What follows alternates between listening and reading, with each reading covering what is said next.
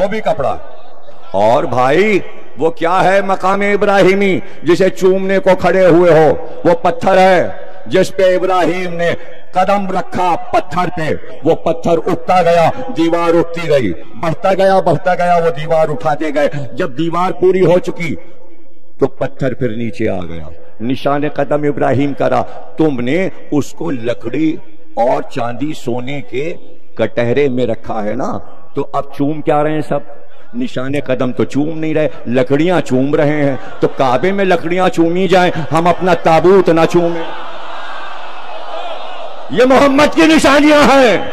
वो मूसा, इब्राहिम, ईसा, दाऊद, सुलेमान इलियास की निशानियाँ हैं। अब ये बताओ कि इब्राहिम की उम्मत में हो या मोहम्मद की उम्मत में हो? मूसा की उम्मत में हो या मोहम्मद की उम्मत में हो? मूसा का आशा काबिल एहतराम है। नू की नू की नस्ल में हो। कश्ती बहुत एहतराम वाली है। क्या है मसला? मसला क्या है? जो मोहम्मद की उम्मत है, वो नबी की यादगारों को चूमे काबा काबा तुमसे ज़्यादा हमें प्यारा है, इसलिए कि अली का खाना है।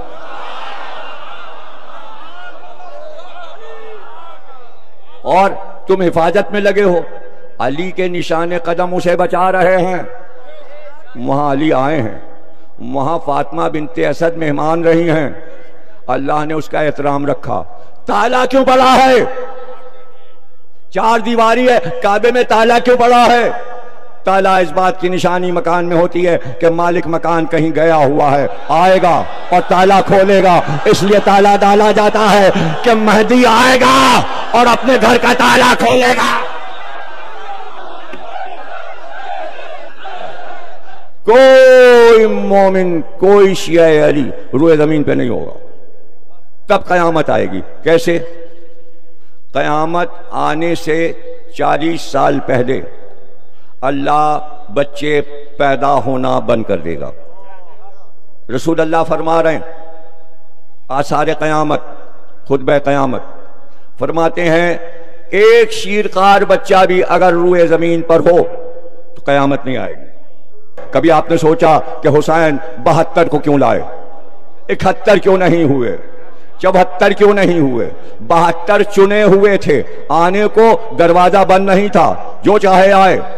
कहते हैं और भी आए थे बहत्तर के अलावा कुछ लश्कर यजीज से हक समझकर हुसैन की तरफ़ आ गए थे। तादाद बहुत है।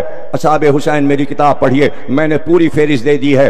हर बहत्तर के हर हर एक का नाम, बहत्तर शहीदों का नाम लिखकर हर एक के नाम के मानी बताए हैं।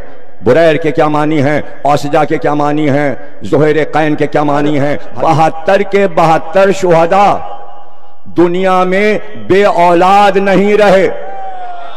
देखिए, इंसाफ और अदल मासूम, चूँकि मासूम आदिल होता है। ये कैसे हो सकता था? हुसैन का एक बच जाए और सब बे औलाद रह जाए।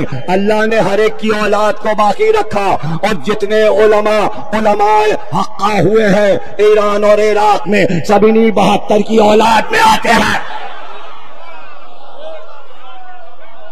कोई ऐसी हैरत की बात नहीं है कि पीर पगाड़ा दावा करते हैं कि हम हज़रत हुर की औलाद में हैं। हम इनके इस दावे को क्यों झुटलाएँ हम क्यों झुटलाएँ कि बिल्लोची बास कबाइल हबीब इब्ने मजाहिर की नस्ल में हैं? हम क्यों उन्हें झूठ झुटलाएँ अबान कहते हैं कि हम हज़रत अली के एक बेटे ओन की औलाद हैं ओन की जमा अबान है। हम उनके शजरों को क्यों झुटलाएँ हम कौन होते हैं? कि अपने शजरों को देखकर दूसरों के शजरों को झुटला दें तो असाब की औलाद बाकी है। इसलिए जितने साहेब औलाद थे, सबकी औलाद और नस्ल रही। हज़रत अब्बास की नस्ल उनके उस बेटे से चली, जो मदीने में थे। जनाब जैनब के पाँच बेटे थे, जो बेटे दो रह गए थे मदीने में। सबसे बड़े अली जैनबी, उनसे हज़रत जैनब की नस्ल चली। जब हुसैन की नस्ल चल रही है तो सबकी नस्ल चलना चाहिए। मुस्लिम की भी नस्ल चली। चार बेटे मारे गए, लेकिन दो बेटे और मुस्लिम के थे। उनसे हज़रत मुस्लिम की नस्ल चली, अकील की नस्ल भी है, जाफ़र की नस्ल भी है। और अली की नस्ल भी बाकी है और इसी तरह फातिमा की नस्ल इमाम महदी मौजूद हैं और दुनिया सादात से भरी पड़ी है। ये सब बनी फातिमा हैं। ये करबला के समर हैं।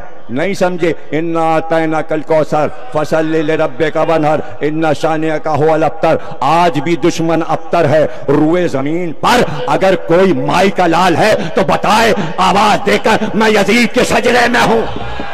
बताए, अगर वो माविया के सजरे में है तो नाम बताए। सजरा दिखाए। अभी अशीफ साहब आए हुए थे जो यूनान में ही। सारी तालीम हुई है, उनके वालिद का इंतकाल भी यूनान में हो। पहला इमाम बाड़ा, उनके वालिद रिजवी साहब ने बनाया। और उनकी दावत पर यूनान के दारुल हुकूमत, ग्रीस कहते हैं अंग्रेज़ी में यूनान को। उसके दारुल हुकूमत का नाम एथेंस है।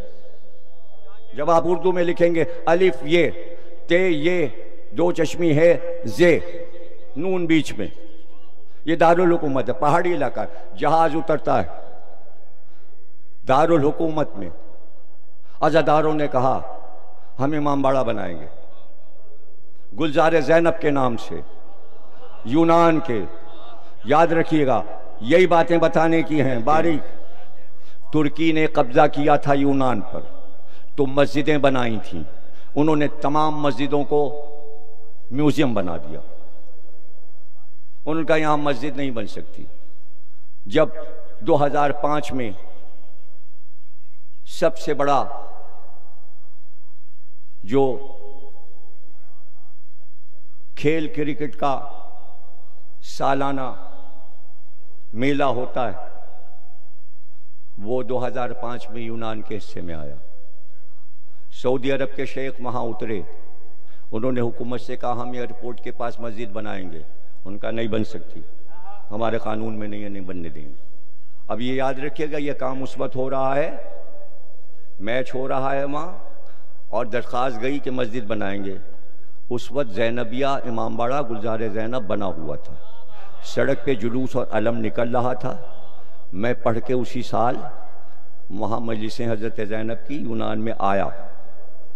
पूरा टीवी यूनान का आशूर के जुलूस को यूनान दिखाता है। एक तरफ़ हुसैन की अजादारी दिखा रहा है, दूसरी तरफ़ कह रहा है, मस्जिद नहीं बन सकती। अब समझ, समझने की कोशिश कीजिए, सारे फिरके आबाद हैं यूनान में, पंजाब के बहुत लोग हैं। शिया भी हैं, सुन्नी भी हैं। ज़ोर तो देते रहे सारे ममालिक, जब हुकूमती सतह पर यूनान से कहा जाए कि मस्जिद बनाओ। वजह पूछी गई, आप मस्जिद क्यों नहीं बनने दे रहे हैं? कहने, हमेशा मस्जिद से दहशतगर्द निकले हैं। इसलिए हम अपने यहाँ डरते हैं कि दहशतगर्दी न फैल जाए। जब बहुत ज़ोर डाला गया तो उन्होंने एक तरकीब निकाली और वो सामने आई। यूनान वालों ने कहा कि हुकूमत मस्जिद बनाएगी।